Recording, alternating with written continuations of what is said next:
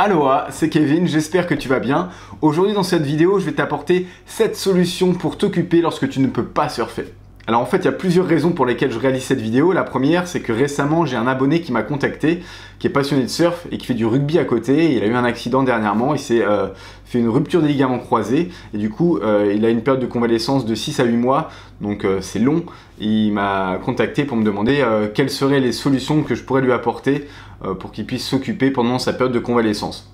Donc euh, bah, Théo, cette vidéo, euh, elle te concerne, elle est euh, dédicacée à toi, mais aussi cette vidéo, elle concerne tout le monde, puisqu'à un moment donné, que tu vives près ou loin de l'océan, tu as forcément des contraintes, que ce soit la distance, que ce soit le boulot, que ce soit la santé, tes, juste tes priorités, et eh ben tu peux être amené à ne pas surfer pendant un laps de temps, et du coup, bah, je vais essayer de t'apporter des solutions pour t'occuper, pour atténuer cette frustration justement. Qu'est-ce qui se passe? Qu'est-ce qu'il y a? Ah, je sais, c'est c'est la petite derrière moi qui t'intrigue. Hein. T'inquiète, je te la présenterai dans une prochaine vidéo. Reste concentré s'il te plaît. D'ailleurs, avant d'aller plus loin, je t'invite à mettre un pouce bleu euh, si euh, bah, tu aimes mon contenu et si tu veux euh, m'encourager à, poursuivre, à, te faire de, prochaines vidéos. donc je vais t'apporter la première solution. Cette solution, elle n'est pas miraculeuse hein, parce que tu dois sans doute déjà le faire.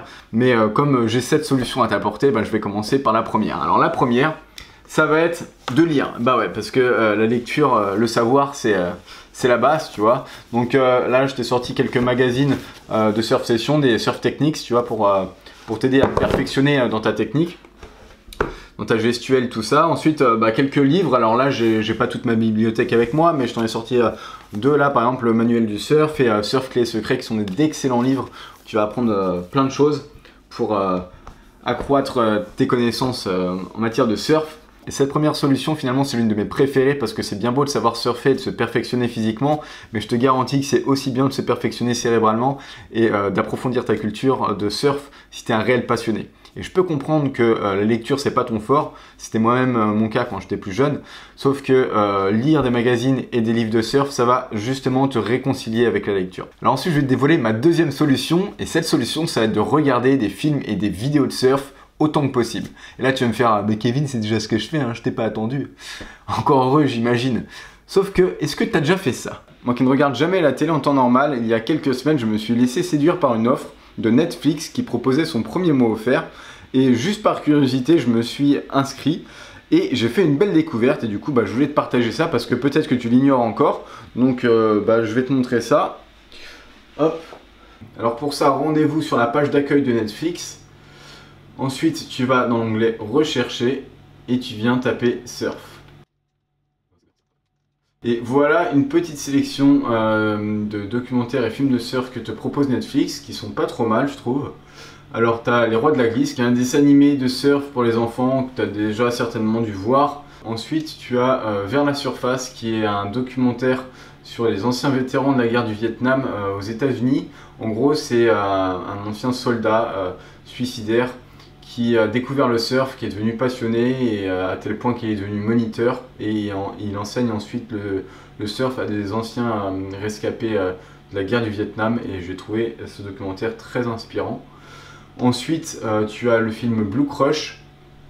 Alors ça, c'est plus pour les nanas en général, mais c'est un film qui commence à dater. C'est un film un peu lifestyle sur sur des surfeuses euh, à Hawaï euh, qui se mettent à la compétition. Ensuite, tu as euh, Fish People qui est un documentaire sur les waterman de notre nouvelle génération et je l'ai trouvé super inspirant, je te recommande vivement celui-là.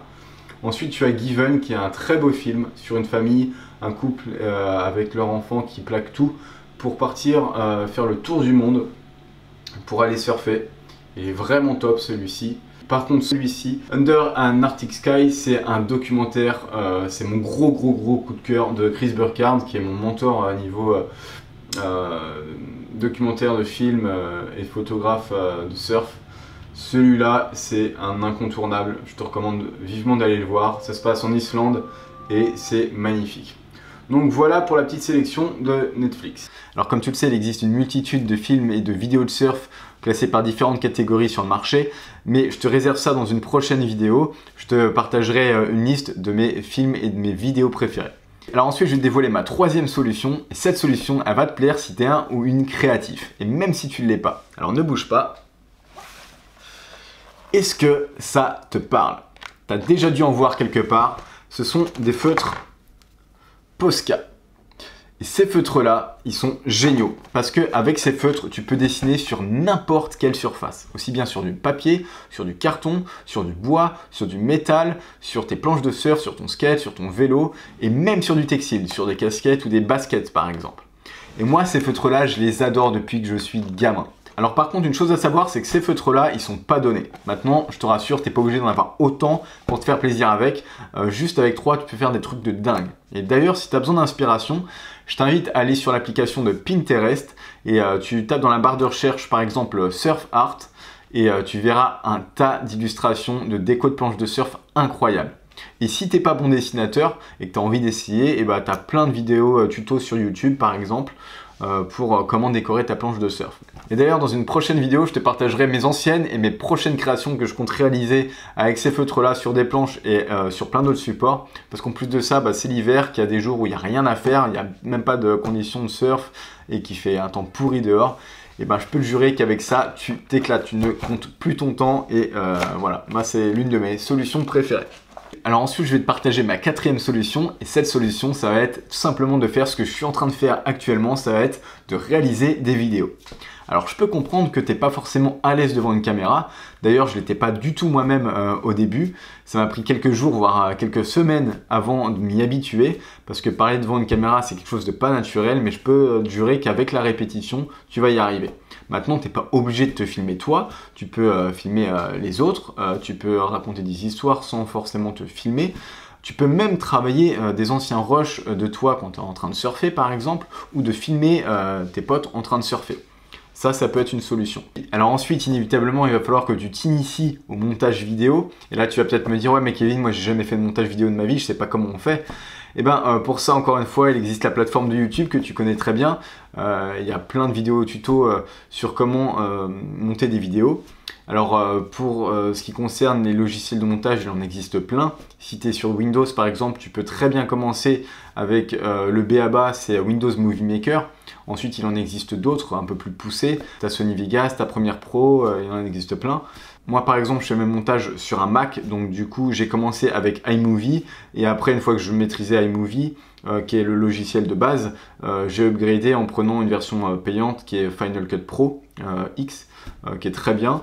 maintenant, c'est pas le meilleur, je vais pas te dire quel est le meilleur logiciel dans cette vidéo parce que je suis pas assez expert dans le domaine. Et pareil, niveau matos, t'es pas obligé de commencer direct en investissant dans une grosse caméra qui coûte cher, euh, type euh, réflexe. Tu peux très bien commencer avec euh, n'importe quel smartphone et un petit micro. Pour commencer, il faut commencer avec ce que tu as, tu vois. Ça sert à rien d'investir tout de suite dans du matos de pro alors que tu n'as même pas commencé, tu vois. Donc euh, pareil, si t'es pas à l'aise en vidéo, euh, si ça te paraît trop compliqué, eh ben, je t'invite à, commencer la photo. La photo, c'est un domaine aussi qui est passionnant. Et euh, il existe un tas de ressources sur Internet pour débuter et pour se perfectionner. Et tu verras, ces deux moyens-là, ça va te faire développer ta créativité de manière exponentielle. C'est des domaines qui sont réellement passionnants, qui demandent du temps et de l'investissement, mais c'est comme tout au final. Et si tu es mordu et que tu t'investis euh, sur le long terme, ça peut même devenir ton métier. Et tu peux même gagner ta vie avec. Et ça, vivre de sa passion, euh, c'est un luxe, crois-moi. Alors à présent, je vais dévoiler ma cinquième solution. Et cette solution, ça va être de chercher dans tes fichiers, parce que je suis quasiment sûr que tu as au moins un ou deux euh, rush vidéo de toi en train de surfer. Alors je sais que malheureusement c'est le problème de la majorité des surfeurs et je suis comme toi parce que j'ai très peu de vidéos de moi en train de surfer actuellement et que généralement c'est réservé aux surfeurs pros qui ont l'habitude de se faire filmer ou aux personnes qui se font coacher en vidéo. Euh, mais je suis quasiment sûr que tu as au moins un parent ou un ami qui t'a filmé au moins une fois sur une de tes vagues et tu vas prendre cette vidéo là ou ces vidéos là. Euh, si tu as plusieurs vidéos, ben, tant mieux, plus t'en as mieux c'est finalement. Et tu vas les revisionner au ralenti. Pourquoi au ralenti? Bah parce que de cette manière, tu vas pouvoir euh, t'apercevoir de tes erreurs de placement, de regard, de gestuelle et euh, tu vas les comparer avec une autre vidéo par exemple que tu auras choisi euh, d'un surfeur plus expérimenté que toi. Alors tu peux prendre un pro, mais là, si tu veux, le contraste sera trop flagrant.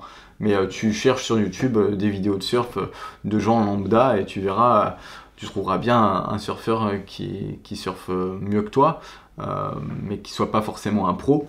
Et tu vas comparer un petit peu la différence entre les courbes que tu prends et les courbes que lui prend. Et de cette manière-là, tu vas comprendre quelles sont tes erreurs. Donc ça, ça peut être une solution qui est très bien pour te permettre de donner des futurs objectifs pendant tes prochaines sessions. Alors ensuite, je vais te dévoiler ma sixième solution.